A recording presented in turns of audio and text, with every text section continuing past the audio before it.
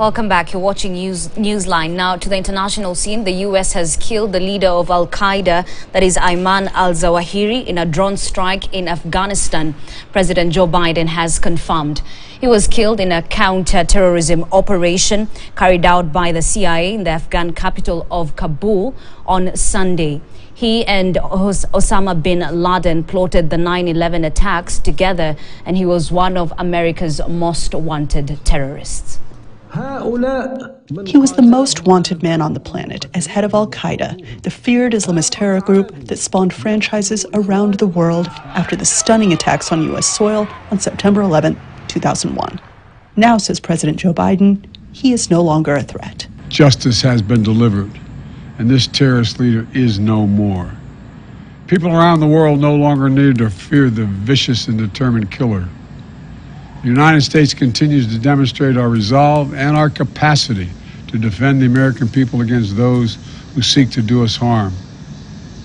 You know, we, we, uh, we, we make it clear again tonight that no matter how long it takes, no matter where you hide, if you are a threat to our people, the United States will find you and take you out. The Sunday morning U.S. missile strike that killed al Zawahiri in Kabul drew the ire of the nation's Taliban government, which seized control less than a year ago after the withdrawal of U.S. and NATO troops after two decades in Afghanistan. Senior White House officials said the operation targeted a house in Kabul and was conducted by an unmanned aerial vehicle with no U.S. personnel on the ground. Administration officials also said they concluded with high confidence that only al Zawahiri was killed and that they were aware that senior members of the Taliban's Haqqani network knew he was in Afghanistan. Officials said they did not alert the Taliban before the strike. The group's spokesman condemned it as a blatant violation of international principles and the Doha Agreement, which are the 2020 talks that Taliban leaders held with U.S. and Western leaders in Qatar over the withdrawal of U.S. and allied troops the subsequent year.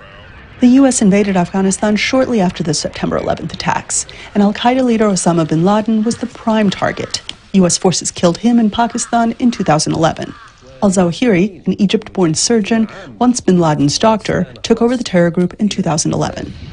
Biden said the killing could lead to a new era. Now we have eliminated the emir of Al Qaeda. He will never again, never again allow Afghanistan to become a terrorist safe haven because he is gone and we're going to make sure that nothing else happens. You know, it can't be a launching pad against the United States. We're going to see to it that won't happen. Meanwhile, in recent years, Al Qaeda has continued to expand in the Middle East, West and East Africa, and South Asia.